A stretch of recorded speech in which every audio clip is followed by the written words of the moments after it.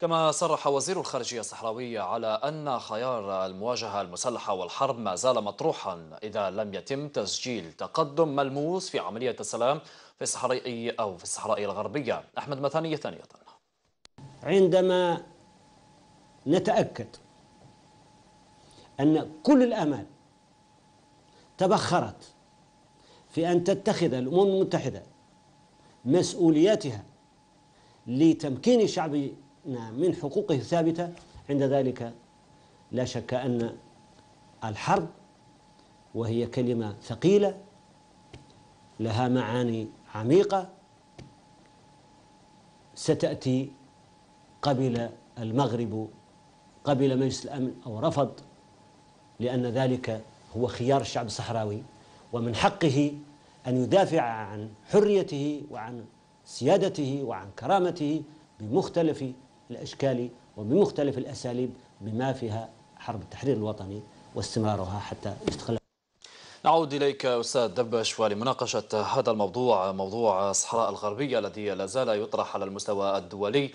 إذا المغرب لا زالت متشبثة بقرار أن الصحراء الغربية تابعة للمغرب وكذا رأينا أن أنه هناك أو تواجدت هناك في تونس خلال الملتقى التي نظم هناك مناوشات بين الطرف الجزائري والمغربي. كنت قلت لي في الكواليس أن المغاربة قد قدموا مع خارطة نعم. تثبت بأن الصحراء الغربية تابعة إلى المغرب. إلى أي حد ستصل المغرب هي, هي المغرب دائما يتستر تحت جمعيات يمولها وتستفز الجزائريين وهذا ما حدث في في تونس. استفزت الجزائريين أنك كيف آه، إحنا في في لقاء من أجل السلم واحترام سيادة الدول واحترام حق الشعوب في تقرير مصيرها. بالطبع. المؤتمر في اللقاء في ذاته في تونس قائم على حقوق الإنسان وحق الشعوب فإذا به يأتي عناصر من أجل آه، حتى حتى الإشارة ببعض المناطق كانت تابعة إلى المغرب مثل تندوف وغيرها.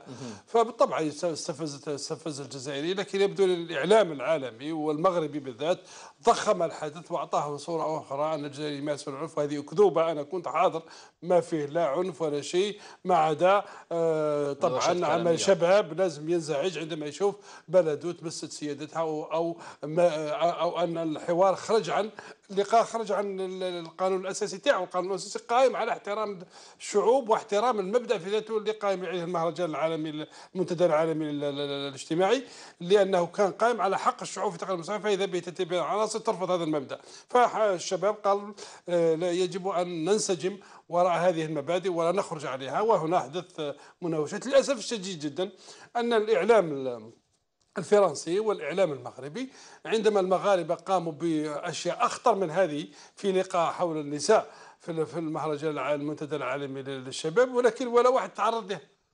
يعني يعني شوف الإعلام حتى الإعلام يستعمل السياسة ويعامل الكيل بمكيالين يعني. نعم.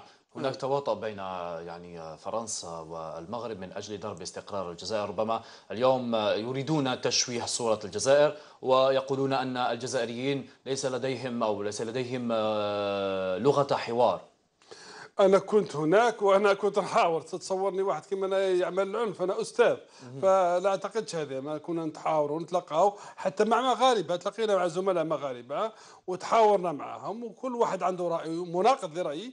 لكن يبدو لي أن الإعلام المغربي والإعلام الفرنسي هو اللي ضخم نعم. هذا الحدث لأهداف سياسيه ولا علاقة لها بما حدث في تونس. بالنسبة للصحراء الغربية والوضع السائد اليوم. ربما فرنسا اليوم أو المغرب اليوم آه، تتكل على فرنسا من أجل دعمها وأيضا آه، إنهاء هذه القضية وتصبح الصحراء الغربية تابعه للمغرب. أستاذ بلال تعرف تصريح السيد وزير الخارجية الصحراء الغربية؟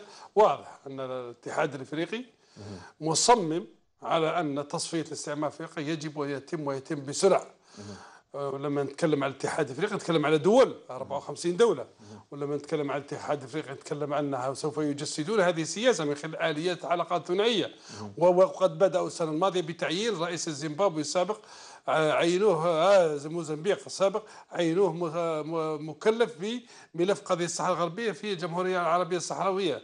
اذا الاتحاد الافريقي مشى خطوة للامام معناها سوف يستعمل الاليات السياسيه والاليات الدبلوماسية للضغط على المجتمع الدولي وخاصة مجلس الأمن وخاصة الاتحاد الأوروبي وخاصة الولايات المتحدة الذي لتفعيل حق الاستفتاء في حق وحق شعب الصحراء الغربية في تقرير مصيره من أجل آه، الاستقلال. لأن من أجل الاستقلال. لأن الآن الامم المتحدة تستعمل هذا المصطلح منذ سنتين. تقول الاستقلال. ما بقاتش تقول اختيارات وكذا. اذا آه، يبدو لي أن هذا موضوع آه، السياسة المغربية فاشل. في محاولة مرة أخرى سياسة الهروب الأمام من خلال آه، أنا لا أعتقد أبدا أن فرنسا سوف تكون لها دعم وثقل قوي آه، للمغرب على غير ما كان سابقا. فرنسا دخلت في اتفاقية اقتصادية وفي علاقات ثنائية وفي مصالح أخرى في إفريقيا تتجاوز التعامل مع المغرب ولهذا لن تكون فرنسا بالقوة الكبيرة اللي كانت دعم كبير للمغرب على غير ما كانت عليه سابقا. هذا لا يعني أن فرنسا سوف تتخلى آه، عن سلوكها التقليدي مع المغرب لكن نقول مثلا الرئيس الفرنسي ورئيس الوزراء الفرنسي في عدة آه، محطات يستعملون مصطلح مفاهيم. عمرها ما كانت في المصطلح السياسي الفرنسي مثلا كانوا يقولوا الصحراء. الآن الرئيس الفرنسي مباشرة يقول الصحراء الغربية. معناها لما تقول الصحراء الغربية معناها هناك ايدنتيتي هناك هوية هناك محيط جغرافي استقلالية.